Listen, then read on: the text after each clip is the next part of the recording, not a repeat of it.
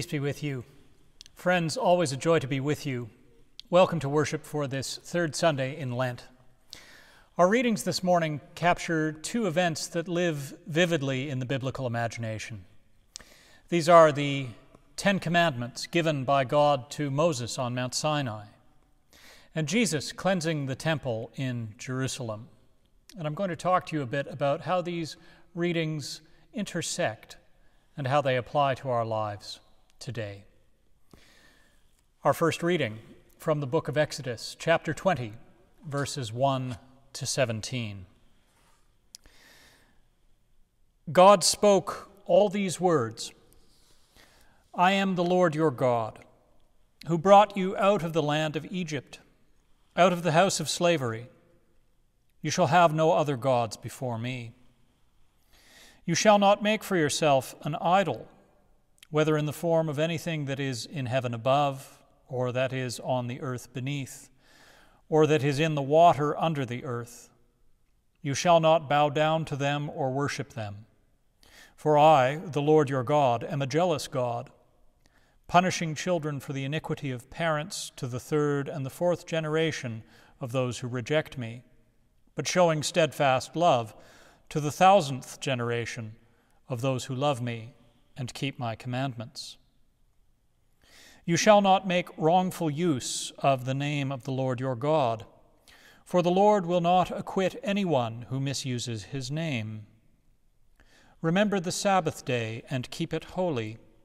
Six days you shall labor and do all your work, but the seventh day is a Sabbath to the Lord your God. You shall not do any work, you, your son, or your daughter your male or female slave, your livestock, or the alien resident in your towns. For in six days the Lord made heaven and earth, the sea, and all that is in them, but rested the seventh day. Therefore the Lord blessed the Sabbath day and consecrated it. Honor your father and your mother, so that your days may be long in the land that the Lord your God is giving you. You shall not murder. You shall not commit adultery. You shall not steal. You shall not bear false witness against your neighbor. You shall not covet your neighbor's house. You shall not covet your neighbor's wife, or male or female slave, or ox, or donkey, or anything that belongs to your neighbor. This is the word of the Lord. Thanks be to God and the Holy Gospel of our Lord Jesus Christ according to John. The Passover of the Jews was near, and Jesus went up to Jerusalem. In the temple, he found people selling cattle, sheep, and doves, and the money changers seated at their tables. Making a whip of cords, he drove all of them out of the temple, both the sheep and the cattle. He also poured out the coins of the money changers and overturned their tables. He told those who were selling the doves, Take these things out of here. Stop making my father's house a marketplace. His disciples remembered that it was written, Zeal for your house will consume me. The Jews then said to him, What sign can you show for doing this? Jesus answered them, Destroy this temple, and in three days I will raise it up. The Jews then said, This temple has been under construction for 46 years, and will you raise it up in three days? But he was speaking of the temple of his body. After he was raised from the dead, his disciples remembered that he had said this, and they believed the scripture and the word that Jesus had spoken. This is the gospel of Christ. Praise to you, Lord Jesus Christ.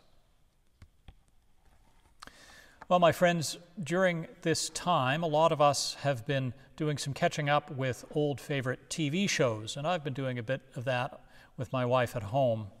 One of our very favorite TV shows is called The West Wing. I'm sure many of you have seen it.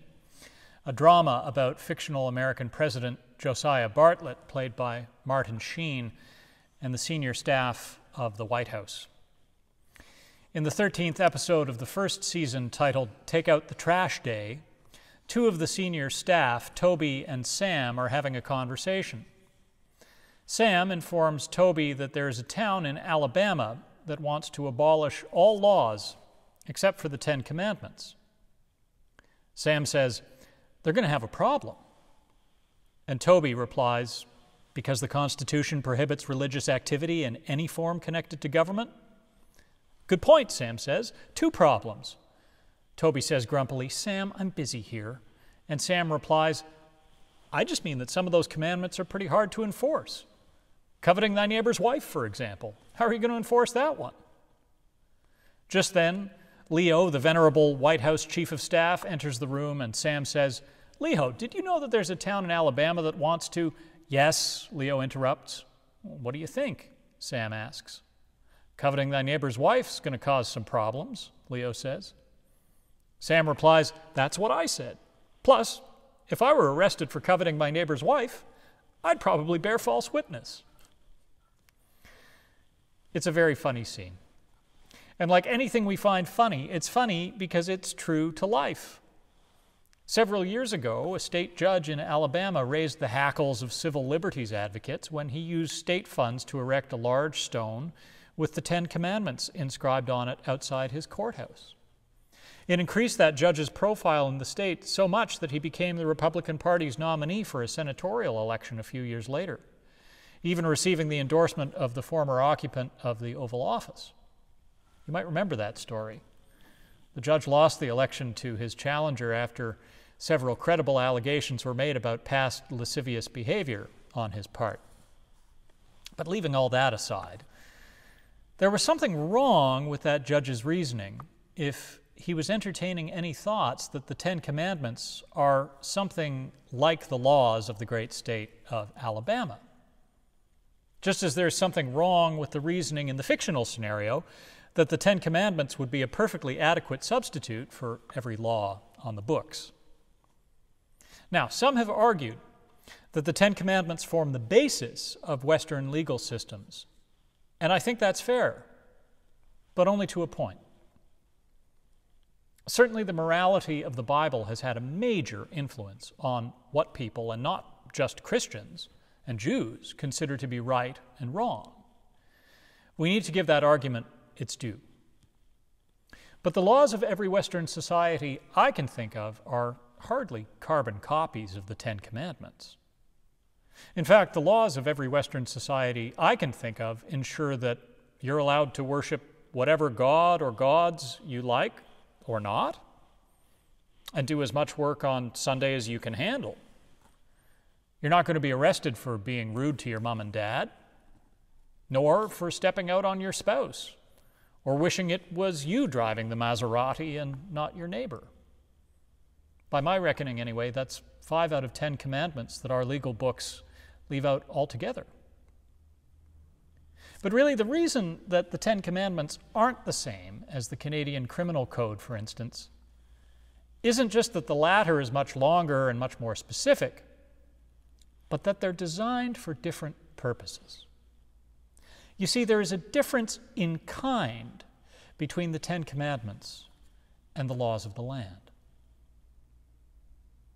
Throughout our Lenten lectionary, readings are appointed from the Old Testament dealing with God's covenants with ancient Israel, with God's chosen people. On the first Sunday in Lent, we heard about God's covenant with Noah indeed with the whole of creation, that never again would God destroy the earth by flood. Last week, the Old Testament lesson was about God's covenant with Abraham, that he would be the father of a great nation, that despite his old age, his descendants would be innumerable. Today, we hear the Ten Commandments, which are also covenant promises made by God.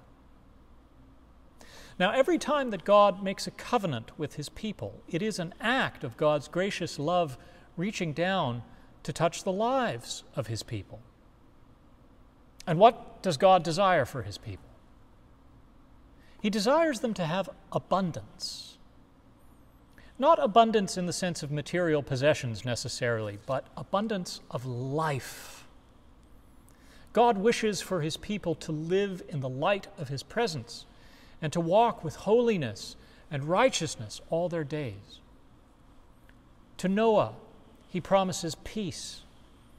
To Abraham, he promises plenty and, pro- and posterity. To Moses and the Israelites, he promises righteousness if they will follow the instructions for abundant life that he has provided in the Ten Commandments. If they remember these commandments and live by them, then they will honor God by enjoying abundant life. Do you see? That's quite different from saying don't do X, Y, or Z unless you want to spend the next five or 10 or 20 years in the slammer. There's a difference in kind between the Ten Commandments and the laws of the land. Following the commandments of God is an invitation to a better life, a better way of living, an abundant way of living that honors God's desire to see his people thrive and flourish. God is faithful to us. And so he gives us this pattern for holy living. It's not punitive, quite the opposite. It's a measure of God's gracious love. Let's talk about the gospel reading for this morning for a moment. In this reading, we find Jesus cleansing the temple. In dramatic fashion, Jesus drives the money changers and the merchants out of the temple. Have you ever seen those bracelets and t shirts and bumper stickers that say WWJD? What would Jesus do? Well, I once heard someone say, when somebody asks me, What would Jesus do? I always want to point them to John chapter 2 and say, Well, remember, if you're asking what Jesus would do, that flipping over tables and whipping people is one of the options. Now, unlike the synoptic gospels, all of the gospels have this episode in them. But unlike the synoptics, that is Matthew, Mark, and Luke, that have this episode near the end, shortly before Jesus' crucifixion, John's gospel puts it right up front in the second chapter. In a way, Jesus driving out the merchants and money changers sets the tone for the rest of the gospel. It's Jesus' purpose to call God's people back to holy living, back to righteousness, back to abundant life, and forward into still more abundant living under the new covenant sealed in his blood. Destroy this temple, and in three days I will raise it up, Jesus said. His fellow Jews replied, This temple has been under construction for 46 years, and will you raise it up in three days? Here, John gives us a helpful explanatory note. But Jesus was speaking of the temple of his body. Jesus is the new temple of God. Jesus is the one to whom the world will turn to worship God in spirit and in truth. Jesus himself is where humanity and divinity perfectly intersect. Jesus' body will be destroyed, but he will be raised up on the third day. This reframes the whole way that Christians think of the temple. But there's still another way that the New Testament reframes thinking about the temple. St. Paul, in his first letter to the Corinthians, chapter 3, verses 16 and 17, says, Do you not know that you are God's temple and that God's Spirit dwells in you? If anyone destroys God's temple, God will destroy that person. For God's temple is holy, and you are that temple. You are God's temple, and God's temple is holy. Do you see the connection between these two readings now? God has given us instruction in what makes for a holy life. It is God's desire that we have life in abundance. God has made a covenant promise to us that if we follow His commandments, we will be able to enjoy that kind of living. It's not punitive, it's a covenant made out of God's gracious love and care for His people. It's an invitation to righteousness and peace. But like Jesus, we are called to drive out of the temple the temple of ourselves, the temple that we are, all of those things that mar and obscure God's plan for abundant living. We are to stop at nothing to drive out all of those parts of ourselves that get in the way of keeping to God's commandments.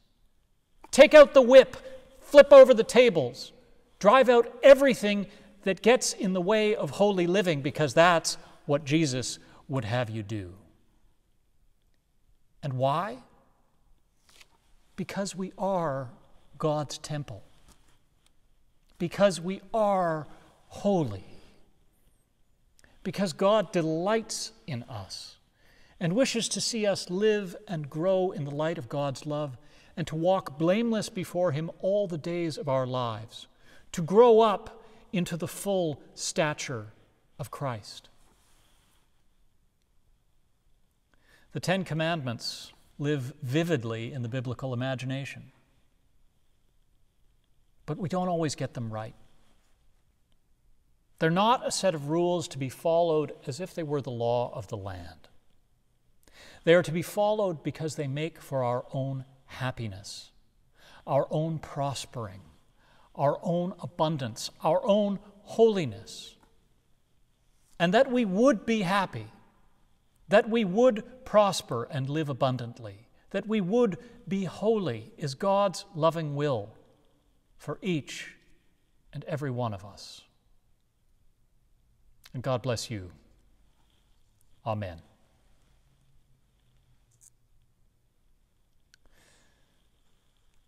Now, my friends, with confidence and trust, let us pray to the Lord, saying, Lord, have mercy.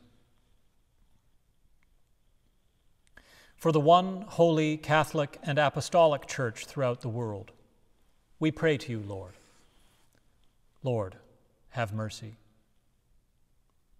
For the mission of the Church, that in faithful witness it may preach the gospel to the ends of the earth, we pray to you, Lord. Lord, have mercy. For those preparing for baptism and for their teachers and sponsors, we pray to you, Lord. Lord, have mercy. For peace in the world, that a spirit of respect and reconciliation may grow among nations and peoples, we pray to you, Lord. Lord, have mercy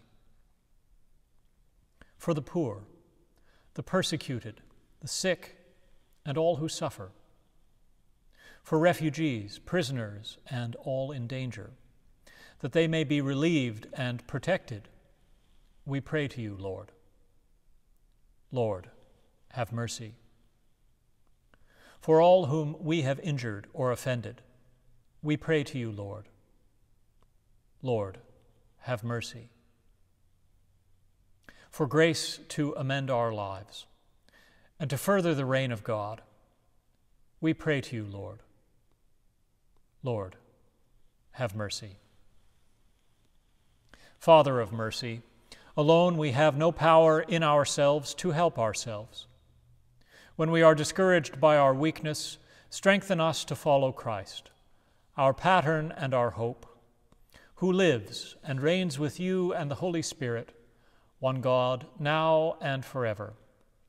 Amen. Now, friends, with confidence and trust, let us pray as our Savior Christ has taught us, saying, Our Father, who art in heaven, hallowed be thy name. Thy kingdom come, thy will be done, on earth as it is in heaven.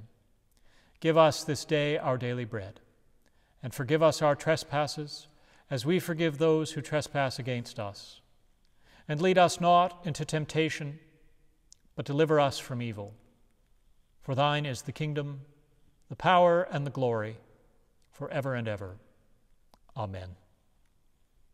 Now may the God of mercy transform you by his grace, and the blessing of God Almighty, the Father, the Son, and the Holy Spirit be amongst you this day and remain with you always. Amen.